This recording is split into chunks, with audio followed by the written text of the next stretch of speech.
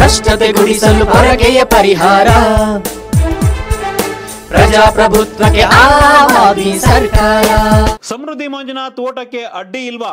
ಭಾರಿ ಅಂತರದಲ್ಲಿ ಮುಳುಬಾಗ್ಲು ಜೆಡಿಎಸ್ ವಶವಾಗುತ್ತಾ? ಎಸ್, ಕೋಲಾರ ಜಿಲ್ಲೆಯ ಮುಳುಬಾಗ್ಲು ವಿಧಾನಸಭಾ ಕ್ಷೇತ್ರ. ಒಂದು ರೀತಿ ನಾವು ಕರ್ನಾಟಕ ಟಿವಿಯಲ್ಲಿ ಸಾಕಷ್ಟು ಬಾರಿ ಸರ್ವೇನ ಹೇಳಿದ್ವಿ. ಸಮೃದ್ಧಿ ಮಂಜುನಾಥ್ ಅದು ಗೆಲ್ಲೇ ಗೆದ್ದೇ ಗೆಲ್ತಾರೆ ಅಂತ. ಕಾಂಗ್ರೆಸ್ ಅಭ್ಯರ್ಥಿ ಗೊತ್ತಿರಲಿಲ್ಲ ಇಷ್ಟು ದಿನ ಎಲೆಕ್ಷನ್ ಅನೌನ್ಸ್ ಆಗೋವರೆಗೂ, ಕೊನೆಯ ದಿನ ಅನೌನ್ಸ್ ಆಯಿತು. ಆ ದಿನ ರಾಯಣ್ಣ ಕಾಂಗ್ರೆಸ್ನ ಅಭ್ಯರ್ಥಿ. ಬಿ ಜೆ ಪಿಯಿಂದ ಸಿಗೇಳ್ ಸುಂದರ್ ಇದ್ದಾರೆ ಬಟ್ ಬಿ ಜೆ ಪಿಗೆ ಅಷ್ಟು ದೊಡ್ಡ ಮಟ್ಟದ ಅಲ್ಲಿ ನೆಲೆ ಇಲ್ಲ. Congress versus J D S ಇರ್ತಕ್ಕಂಥ ಕ್ಷೇತ್ರ. ನಾನು ಲಾ ಇದು ಎರಡು ದಿನ ಹಿಂದಷ್ಟೇ ಮಾತಾಡಿದೆ ಅವ್ರನ್ನ ಸಮೃದ್ಧಿ ಮಂಜುನಾಥ್ನ. ಅವರು ಕರ್ನಾಟಕ ಟಿವಿ ಬಗ್ಗೆ ಮಾತಾಡ್ತಿದ್ರು. ಎಂತ? ನೀವು ನನಗೆ ಇಂಟ್ರೂ ಮಾಡಿದಾಗ ಹೇಳಿದ್ರಿ ನಿಮ್ಗೆ ಯಾರು ಯಾರು ಪ್ರತಿಸ್ಪರ್ಧಿ ಏನು ಅಂತ. ನೀವು ಇಂಟ್ರೂ ಮಾಡಿದ್ದ ಏನೋ ಗೊತ್ತಿಲ್ಲ. ನೀವು ಇಂಟ್ರೂ ಮಾಡಿದ್ಮೇಲೆ ಯಾರೋ ಒಬ್ಬ ಅಭ್ಯರ್ಥಿ ಬಂದರು. ಅದ್ರ ಜೊತೆಗೆ ಅಭ್ಯರ್ಥಿ ಘೋಷಣೆ ಆದ ಬೆನ್ನಲ್ಲೇ ನನ್ನ ಪರವಾಗಿ ಇರೋ ಕಾಂಗ್ರೆಸ್ ನಾಯಕರೆಲ್ಲ ನನ್ನ ಜೊತೆ ಬಂದ್ಬಿಟ್ರು. ಇನ್ನೂ ಜಾತಿ ಶಕ್ತಿ ಆಗ್ಬಿಟ್ಟು ಸಮೃದ್ಧವಾಗಿದೆ ಮುಳುಬಾಗ್ಲು ಅಂತ ಹೇಳಿದ್ರಿ ನೀವು. ಸಮೃದ್ಧಿ ಮಂಜುನಾಥ್ ಸಮೃದ್ಧ ಆಗಿದೆ ಇನ್ನೂ ಜಾಸ್ತಿ ಸಮೃದ್ಧಿ ಅಂತ. ಮಂಜುನಾಥ್ ಕಳೆ ಬಾರಿ ಸೋತಾಗ ಸ್ವಲ್ಪ ಮತಗಳಲ್ಲಿ ಸೋತ್ರು. ಹೌದು. ಆ, ಕೊತ್ತೂರು ಮಂಜುನಾಥ್ ಯಾರು ಹೇಳಿದ್ರು ಜನ ಅವ್ರಿಗೆ ಓಟ್ ಹಾಕರು ಅದು ಕಡಿಮೆ ಮತ. ಸೋತ್ ಮೇಲೆ ಮನುಷ್ಯ ಮನೇಲಿ ಕೂರ್ಲಿಲ್ಲ. ಸೋತರು ಸಹ ಕ್ಷೇತ್ರಕ್ಕೆ ಹೋದ್ರು. ಏನಾಗತ್ತೆ ಅಂದ್ರೆ ನೀವ್ ಯಾರಿಗೋ ಹೊಡೆದಾಗ ಅಲ್ಲೇ ಮಾಡಿದಾಗ ನೀವು ಅವ್ರ ಹತ್ರ ಪದೇ ಪದೇ ಹೋದಾಗ ನಿಮ್ ಕನಿಕರ ಬರಲ್ವೇ? ಸೊ ಹಂಗೆ ಸೋತ್ ಮೇಲೆ ಮನುಷ್ಯ ಮನೇಲಿ ಕೂರ್ಲಿಲ್ಲ. ಮತ್ ಮತ್ತೆ ಮುಳುಬಾಗ್ಲಿಗೆ ಹೋದ್ರು.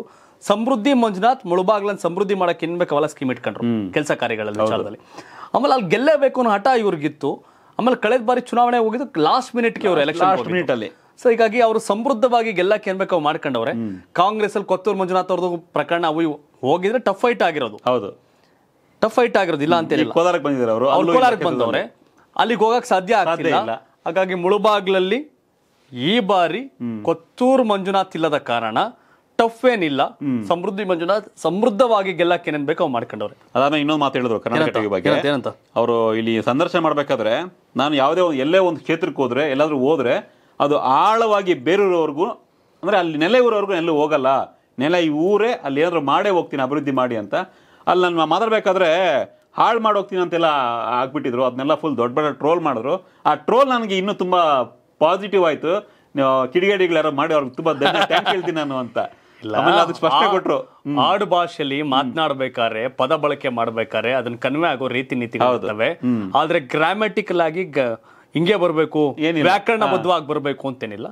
ಟ್ರೋಲ್ ಮಾಡೋರು ಹೆಂಗಿದ್ರು ಮಾಡ್ತಾರೆ. ಕೆಲವೊಂದ್ ಟೈಮು ಯಾರೋ ನಮ್ಮನ್ನ ಕಾಲೆಳಿಬೇಕು ಅಂತಿದ್ರೆ ಆ ಕಾಲೆಳೆದಾಗ್ಲೇ ಕೆಲವೊಂದು ಟೈಮ್ ಶ್ರೀರಕ್ಷೆಗಳಾಗತ್ತೆ ಅದೇನು ಮಾಡೋಕ್ಕಾಗಲ್ಲ ಬಟ್ ಸಮೃದ್ಧಿ ಮಂಜುನಾಥ್ ಒಂದು ತೂಟಕ್ಕೂ ಕಷ್ಟಪಟ್ಟಿದ್ದ ದಿನಗಳ ಬಗ್ಗೆ ನಮ್ಮ ಹತ್ರ ಶೇರ್ ಮಾಡಿ. ಮಾಡಿದ್ದಾರೆ. ಎಸ್ ಮಾತಾಡಿದ್ದಾರೆ. ಬರೀ ಕೆಲವೇ ರೂಪಾಯಿಗಳಿಟ್ಟು ಬೆಂಗಳೂರಿಗೆ ಹೇಗೆ ಬಂದ್ರು ಈಗ ಸಾವಿರ ಜನಕ್ಕೆ ಹೇಗೆ ಉದ್ಯೋಗ ಕೊಟ್ಟು ಯಾವ ರೀತಿ ಧೈರ್ಯ ಮಾಡಿದ್ರೆ ಬಿಸ್ನೆಸ್ ಅಲ್ಲಿ ದೊಡ್ಡ ಮಟ್ಟಿಗೆ ಬೆಳಿಬಹುದು ಅಂತ best example Samruddhi Samruddhi Manjunath. And ಎರಡನೇ ವಿಚಾರ ಮುಳುಬಾಗ್ಲನ್ನ ಯಾವ ರೀತಿ ಉದ್ಧಾರ ಮಾಡಬೇಕು ಯಾವ ರೀತಿಯಲ್ಲಿ ಕೆಲಸ ಕೊಡಬೇಕು ಎಲ್ಲ ರೈತರಿಗೆ ಅನುಕೂಲ ಮಾಡಬೇಕು ಅಂತ ವಿಷನ್ ಇಟ್ಕೊಂಡಿದ್ದಾರೆ.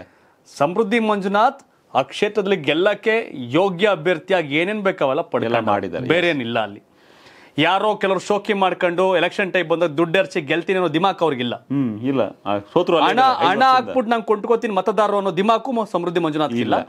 ಅವರವರ ಕೆಲಸ ಅವ್ರವ್ರ ನಡವಳಿಕೆ ಇವತ್ತು ಆ ಮಟ್ಟಕ್ಕೆ ಕರ್ಕವ ನಿಲ್ಸಿದೆ ಅಷ್ಟೇ ಬೇರೇನಿಲ್ಲ. ಎಸ್ ಮುಳುಬಾಗಿಲು ಕ್ಷೇತ್ರದ ಮತದಾರರು ವೀಕ್ಷಕರು ನೀವಾಗಿದ್ರೆ ನಿಮ್ಮ ಮುಳುಬಾಗಿಲು ಕ್ಷೇತ್ರದ ಶಾಸಕರು ಯಾರಾಗಬೇಕು ಅನ್ನೋದನ್ನ ಕಮೆಂಟ್ ಮಾಡಿ ತಿಳಿಸಿ. ಅದೇ ರೀತಿ ಯಾವ ಸರ್ಕಾರ ಅಧಿಕಾರಕ್ಕೆ ಬರುತ್ತೆ ಮುಂದೆ ಯಾರು ಸಿ ಎಂ ಆಗಬೇಕು ಈ ವಿಚಾರ ಕೂಡ ಕಮೆಂಟ್ ಮಾಡಿ ತಿಳಿಸಿ. ನಿಮ್ಮ ಕ್ಷೇತ್ರ ಯಾವುದು? ನಿಮ್ಮ ಕ್ಷೇತ್ರದಲ್ಲಿ ಯಾರು ಗೆಲ್ತಾರೆ ಯಾರು ಶಾಸಕರಾಗ್ತಾರೆ ಅನ್ನೋದನ್ನ ತಿಳಿಸಿ. ನಮ್ಮ ಕರ್ನಾಟಕ ಟಿವಿಯ ಕಳಕಳಿ ಮತ್ತೊಂದು.